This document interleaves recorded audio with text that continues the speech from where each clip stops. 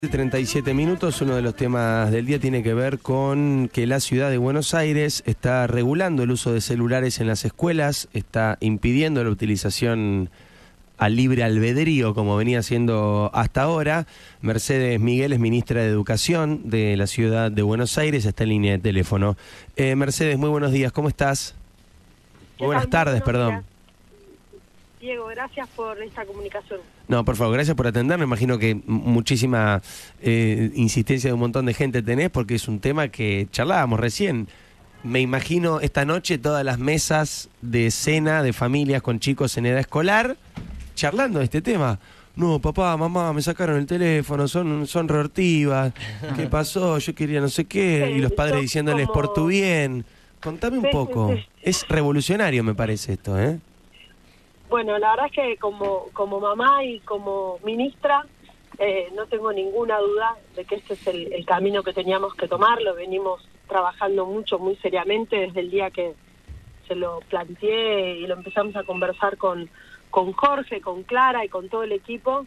Eh, yo había estado hace unos meses en el Foro Mundial de Educación que se celebra en Inglaterra y la verdad me impresionó la cantidad de países que ya estaban muy avanzados en este tipo de definiciones, algunos por en el marco del Ministerio de Educación, otros en el marco de leyes nacionales, pero empecé a investigar y hay mucha evidencia de aquel lado del mundo, debo decir, y en Estados Unidos, poca evidencia en Argentina del daño, de los estragos, del desastre que está generando en nuestros niños, nuestras niñas y adolescentes el exceso de uso de pantalla. Así que estoy muy contenta de que hoy dimos este paso. Por supuesto que esto recién empieza, van a haber muchos jóvenes que, que no van a estar muy, muy contentos con esta decisión, pero también hay que saber que hay escuelas en la ciudad de Buenos Aires y, y en la provincia y en otras provincias que por sus propios medios, ante la falta de atención de los chicos en clase, la dispersión, la falta de recreos, de juego, todo lo que se está viendo, ya se animaron a prohibir o, o regular, informarle a la familia, se pusieron un límite rotundo al ingreso del celular al aula. Me imagino solamente por un, un, prejuicio, una especie de mini, mini, mini sentido común que las primeras reacciones que habrán obtenido o cosechado son un poquito de bronca de los alumnos, como diciendo, insisto, uh, qué no sé qué, y agradecimiento de los padres.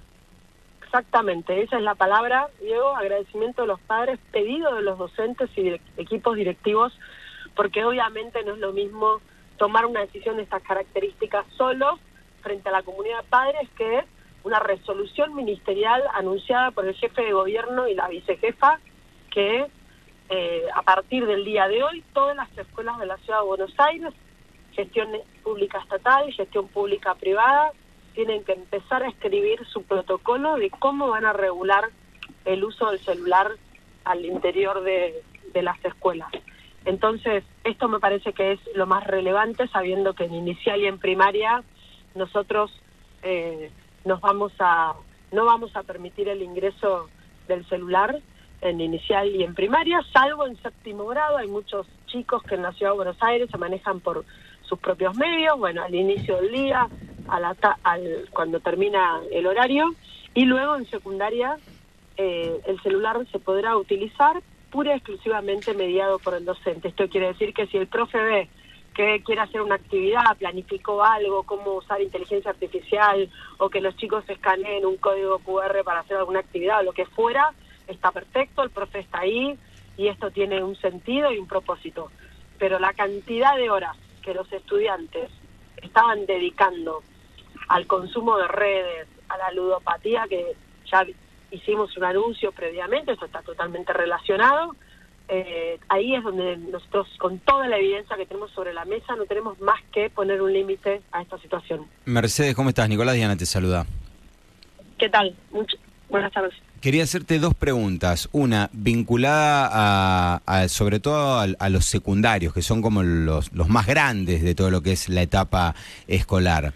Eh, los teléfonos, ¿los van a tener que tener los chicos? ¿Los tienen que dejar en algún lugar cuando llegan a la escuela? Y después, ¿qué pasa con los recreos? Que es una zona por ahí un poco más gris, digamos. Eh, ¿Qué va a suceder en ese momento? Bueno, te agradezco la pregunta, porque la resolución que nosotros, que, que yo firmé hoy, eh, tiene un anexo, que es un documento de pautas para que la escuela elabore su protocolo. ¿Por qué? Porque nosotros no estamos prohibiendo. Y hay algunos especialistas que dicen, eh, bueno, pero deberían haber prohibido. Y la verdad es que nosotros eh, en conversaciones con las mesas de especialistas y con quienes estuvimos consultando, terminamos eh, tomando la sugerencia de no prohibir.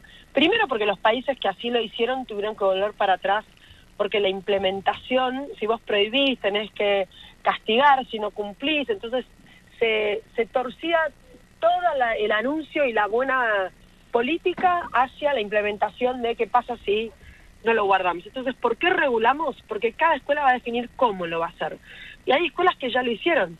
Y además porque queremos eh, trabajar la autorregulación, que es una competencia que los estudiantes del nivel secundario necesitan desarrollar. Entonces, en el documento de pautas sugerimos, hay varias sugerencias tomando casos que ya existen, algunas escuelas colocan cajas dentro del aula donde los estudiantes pasan la puerta, dejan su celular y eh, tienen su, su clase, otras escuelas pusieron una caja fuera del aula o armarios donde los chicos pueden guardar su celular hay escuelas que regulan el uso del celular durante toda la jornada escolar. Entonces, no, hay no hay recreo con celular, no hay comedor con celular.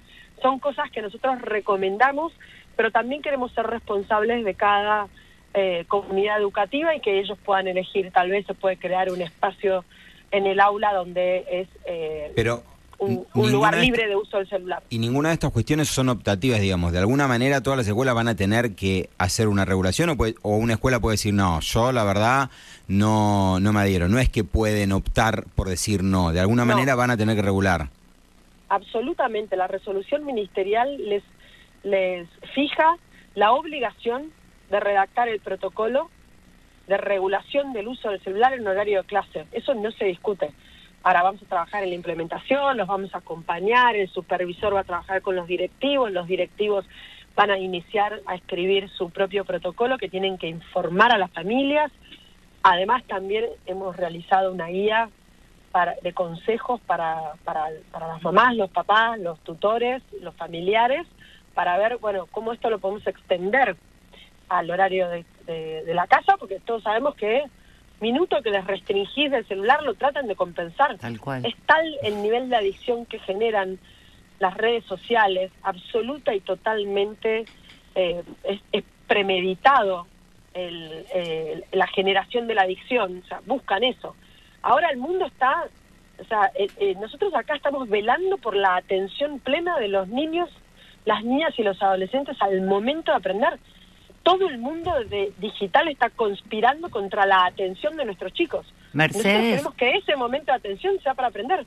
Me parece fantástico lo que estás eh, diciendo. Te quería consultar, eh, de los adolescentes no me llama la atención porque el celular es como una parte, una extensión del cuerpo ya de ellos, pero sí que también se aplica en la primaria y te quería preguntar, digamos, en qué se basaron porque debe ser grave la situación para que los niños, porque son muy chiquitos todavía en primaria, también ustedes recurran a tomar esta medida? Mira, eh, lo que nos pasó fue que cuando empezamos a indagar, un grupo de, supervisoras, varias supervisoras de nivel inicial y los primeros años de primer grado, eh, me vinieron a manifestar con muchísima preocupación cómo había bajado la oralidad, la capacidad de hablar de los niños que están ingresando a jardín. Ustedes piensen, y, y, lo vemos en la calle, que es lo que nosotros tal vez a nuestros hijos los calmábamos con un chupete, hoy se los calma con un celular o con una pantalla. Entonces, esto está afectando la oralidad y la capacidad de los, de los niños de ingresar al nivel inicial, que es un nivel preparatorio para la primaria, con una deficiencia importante en la oralidad. En los niños de primaria, cada vez más temprano reciben un teléfono celular. Entonces esto está afectando, se incrementan los grados de ansiedad, acceden a, plataformas y redes que en teoría no deberían acceder, pero falsean la edad que tienen, piden un celular a un familiar y se bajan redes sociales que no están pensados para chicos de 10, 11, 12 años. Y si me apuras un poco, 9 también. Entonces, al colegio, el celular, no. Hoy, eh, bueno, hoy no, pero hoy publicamos eh, en una web que tiene el ministerio, que eh, si ponen regulación de uso del celular van a acceder a varias, eh, bastante información, porque creemos que acá lo más sólido de esta decisión que estamos tomando es que está basada en evidencia, y hay mucha, y es muy impactante cuando la lees, afecta casi todos los sentidos del bienestar de nuestros niños y niñas, y afecta mucho más a las niñas mujeres, la tendencia de estar pendiente de las redes. En los varones cuando hicimos lo de ludopatía, los varones entran a jugar mucho más que las mujeres.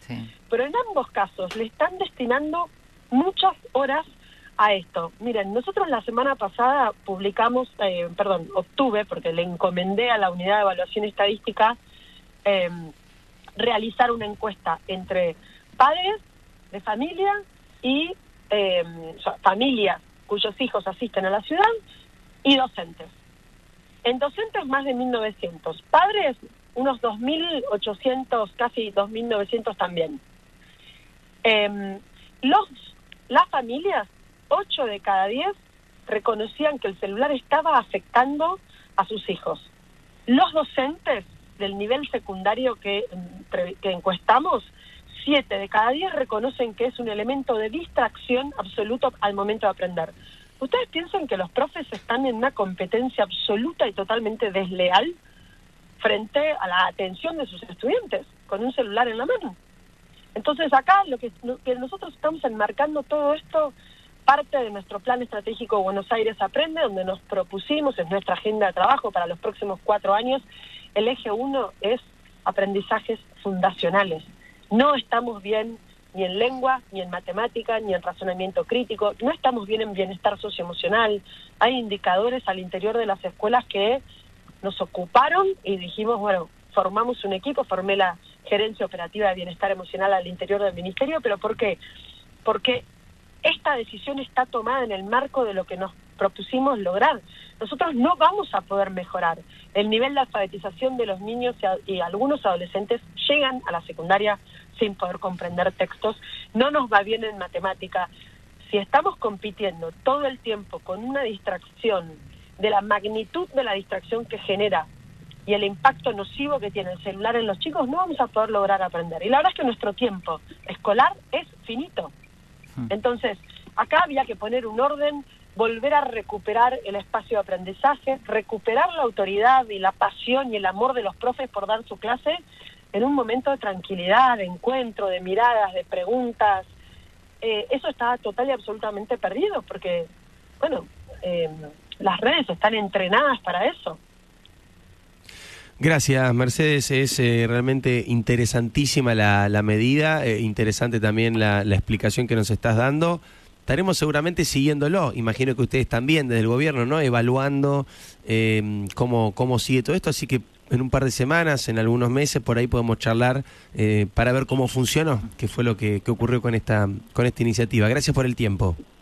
No, por favor, gracias a ustedes. Es muy importante que nos den este espacio y que podamos seguir conversándolo. Será un placer seguramente. Gracias. Igualmente, Mercedes Miguel, ministra de Educación en la Ciudad de Buenos Aires, contándonos esta regulación, prohibición eh, de la, del uso, la utilización de teléfonos celulares para los chicos, para los alumnos, los educandos, como se decía.